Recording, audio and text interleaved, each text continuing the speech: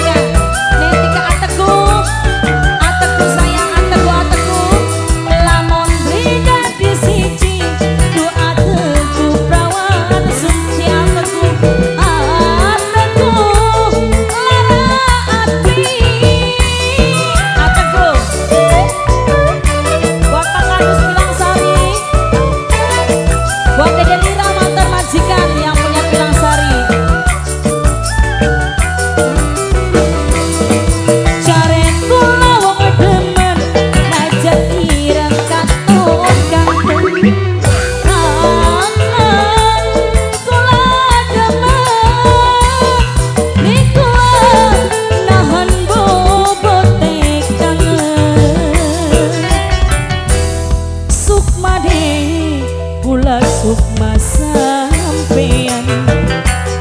neng tika aduh